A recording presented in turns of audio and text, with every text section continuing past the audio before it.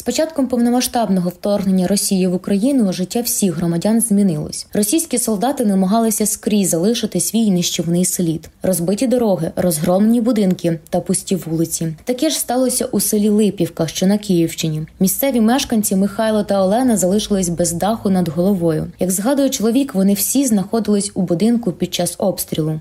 Ну, всі в хаті були, почали стріляти, ми в погреб. Ми по будинку, по хаті ляпнули, а ми всі в погреб. А тоді вже дивимось, криша димить. А вони аж оттуда. А з- з тієї вулиці тільки аж оттуда, по вікнах почали стріляти. Оцінити збитки, завдані окупантами, неможливо. Все, що люди наживали роками, було знищено в один момент. Жінка розповідає, звідки влучив снаряд у дах їхнього будинку. Вон ворота такі поваляні, наче ото такий зелений забор. Ото І вони звідти. підпалили кришу. По криші. геть. Воно так цокнуло Ну, так легенько. можна. А звідси тоді вже вони заскочили в двір, і- вони, може, побачили, як хтось, бо може я бігла.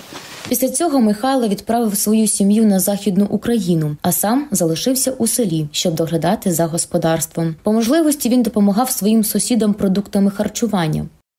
Я сусідів виручав, бо я їм через забор крикнув, є що? Каже, нема. Картошка і огірки. Кажу, принесу. Додому повернулась дружина Михайла. Вони разом збираються відбудовувати свій будинок, де колись так само лунатимуть дитячі голоси їхніх онуків. Вони вірять, що тримаючись один одного, у них все вийде.